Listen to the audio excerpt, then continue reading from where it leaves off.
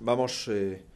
a aprobar o decreto que desenvolve a Lei de Emprendemento relativo a unha das súas partes máis importantes que se refire á eliminación das licencias municipais. Para facer isto posible, o decreto que vimos de aprobar crea as entidades de certificación de conformidade municipal